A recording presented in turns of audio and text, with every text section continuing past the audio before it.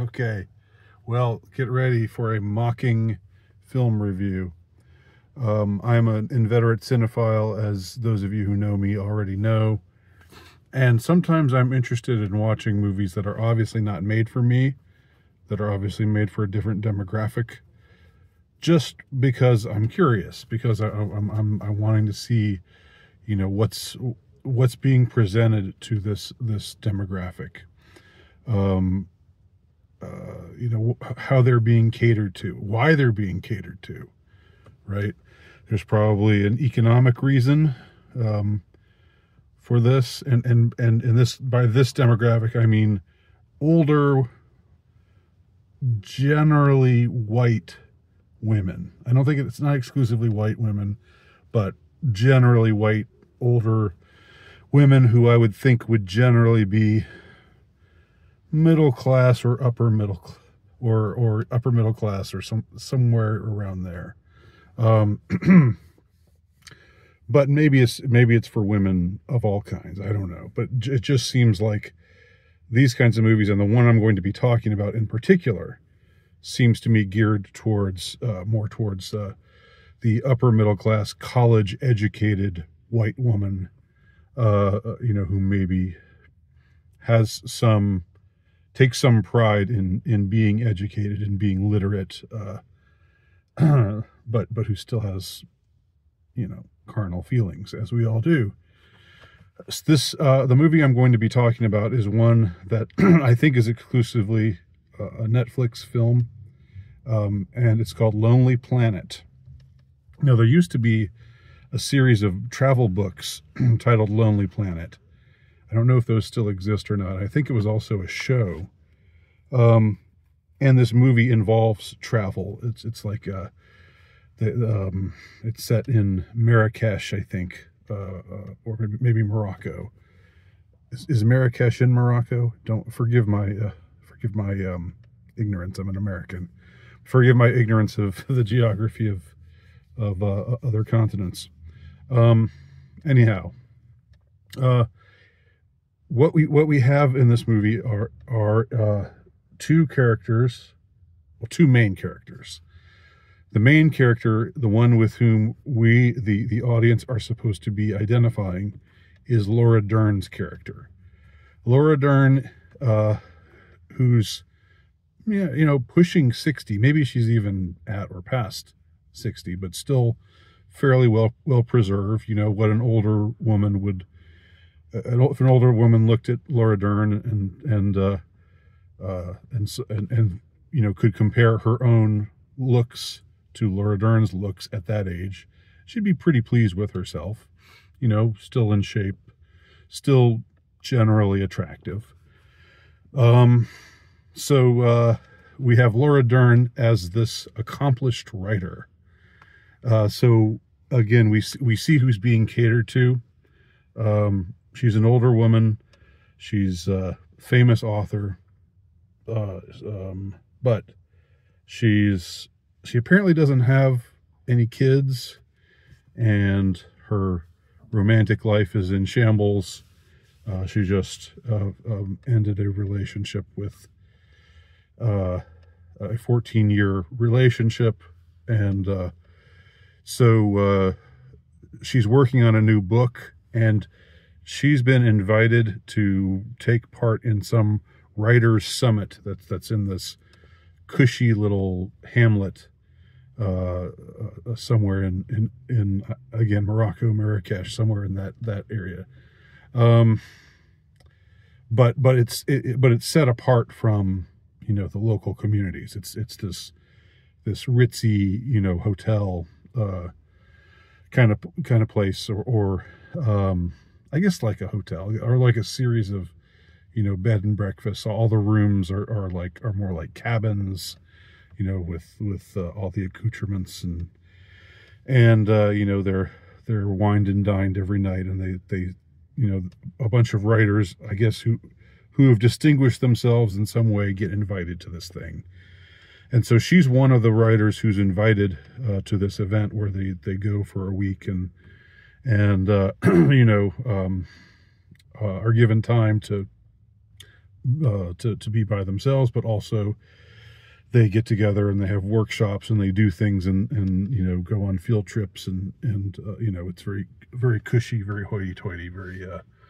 you know upper echelon of uh, of the people who are who are acknowledged who whose whose authorial uh, uh, greatness is is acknowledged in some way. Um, but Laura Dern is different from the rest of them. She just wants to go uh, to to write her new book because she's blocked uh, because of all the chaos uh, at home. She's had to move out of her house because uh, her significant other, who is a man, by the way, we don't have any suggestion of bisexuality. Um, I guess that you know, with the if the demographic were younger, if they were shooting for like twenty uh, somethings, they, then then they're you, you, probably have to have that. Um, but no, she's she seems to be perfectly straight, uh, but uh, she's had, just endured this painful breakup. So at the same time as this, uh, you've got uh, Liam Hemsworth. I think it's Liam. I get Liam and Chris mixed up all the time. Uh, they're both, you know, very handsome, but I think one of them is like a bigger star than the other one, and maybe maybe more handsome than the other one. I don't know.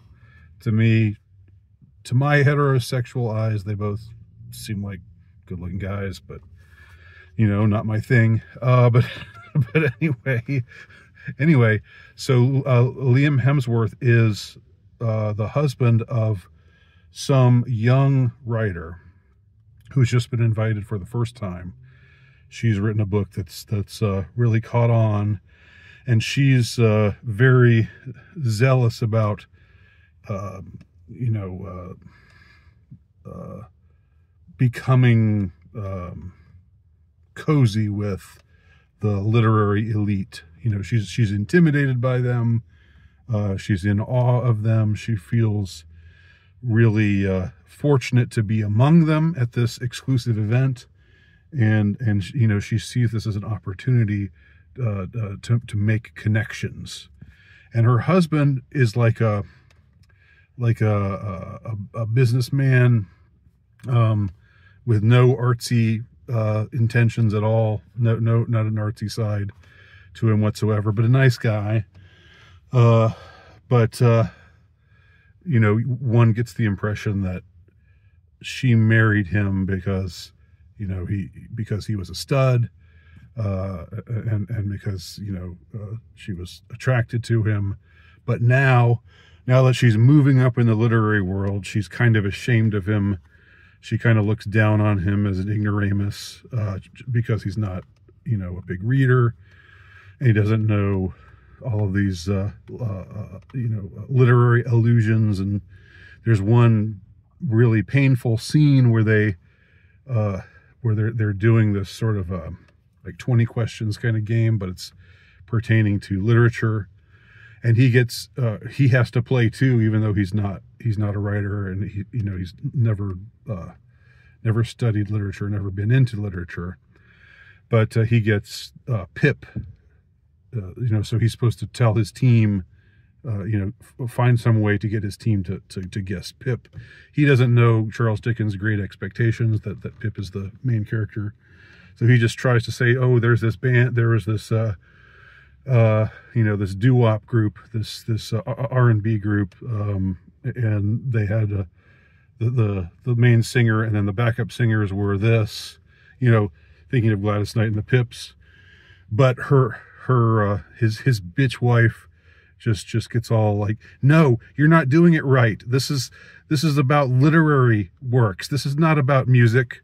Um and uh and just embarrasses him and just just uh, just utterly shows her true colors. Um again this very very painful moment um just just emasculating uh moment. And our heroine the older but still attractive uh uh, struggling author, Laura Dern's character, recognizes uh, his struggle, sees sees what's going on, uh, and um, and they the, the movie contrivedly finds ways to throw them together, even though she she's gone. Laura Dern's character has has visited this retreat just to do work. She doesn't want to socialize. She's not into all of the all the hobnobbing stuff. Um, but uh, you know, she, she's because she's older and and she's she's past all that, and she just it's just all about the art. Uh, you know, refining her art and and so forth. Um, but I, and and I'll, I'll, skip over most of most of what uh, what happens because it's fairly predictable. Um, you know, there's a fairly predictable uh, moment of infidelity. Uh, first, of course, before we see our our heroine indulging in uh, in infidelity with our hero, uh, we have to see you know the full unworthiness of his his wife. Uh, so we find out it eventually gets revealed to us that she's been fooling around with one of the other authors uh, at this retreat, and um, after that they they they sort they they go off together and they have their thing, but there's this scene. Um, there's this scene where you can tell that that a woman director uh, uh, uh, made this movie because uh, the, there's the first the first time you know they're sort of flirting or getting intimate or, or you know where he's he's uh, uh, touching her arm and and uh, you know uh, kissing her, pushing her sleeve down and kissing her shoulder and you know it's all ooh you know this this this sort of uh, will they will they do it now uh, you know this is before this is before the before they have license to before the the the, the big revelation about uh, the the wife's infidelity gets gets exposed. Um, so so he's kissing on her, and she says something. She's and she's you know uh, ardently inhaling. You know like like like you'd see. Uh, a woman on the cover of a romance novel, uh, you know, wearing a dress with the sleeve pulled down, you see her with that kind of expression on her face, um, you know, where she's getting turned on. And she says, she whispers something like, Be careful, kid. I could love someone like you. And the guy, the guy, Liam Hemsworth's reaction, I think it's Liam. Don't crucify me if it's Chris, but I think it's Liam. Um, he says, What, kid? Did you did you just call me did you just call me kid? and it's so it's so unmanly. It's so he takes offense, you know, in this way that's just so womanish. like like a man's gonna care in that in that moment. I mean, maybe he'll say, you know, kid, excuse me, kid, I'm not a kid you know, I'm I'm uh, I'm almost 40 years old. You're almost 60 years old. You're older than me, but that doesn't make me a kid. But instead, he gets all, no, I'm not a kid, and he storms off. You know, just like if you if you said the wrong thing to a woman at, a moment like that. That that's how that's how this guy reacts. So it's it's so funny when they. I mean, uh, uh, you know, I, I I know that there's some humor sometimes uh, you, you have these these posts on social media about oh men, how men write women in, in, in this or that and, and how it supposedly shows some deficiency in how of men uh, understanding what women are really like. But this was something that was the it was the exact reverse. It was like uh, you know it was showing this this guy react in this in this very bitchy feminine kind kind of way to and the and the the and Laura Dern's character was like the guy. He was she was like, uh, no, I didn't mean I didn't mean anything by that. No, don't don't go, baby, don't go. like, it's just a complete gender role reversal. Um, so that was a pretty funny scene. Um, I think there's more that could be said about, you know, this proliferation. I don't know. It's a minor proliferation. We, are seeing movies like this. We're seeing movies where an older uh, older woman has a romance with a younger man. Um, and it's interesting to note, we're definitely not seeing the reverse, are we?